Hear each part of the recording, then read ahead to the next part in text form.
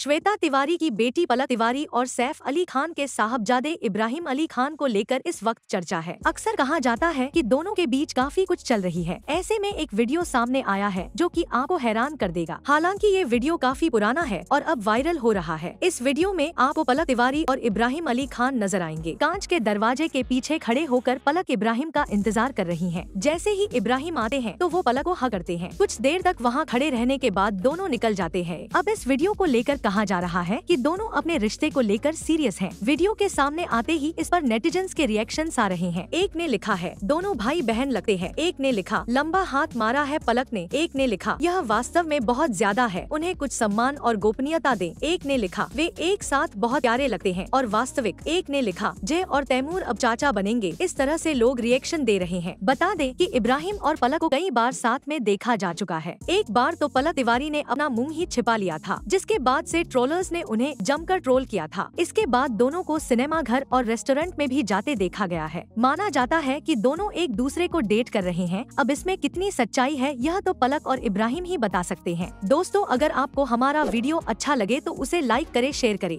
और ऐसी ही दिलचस्प जानकारी पाने के लिए हमारा चैनल फॉलो करें।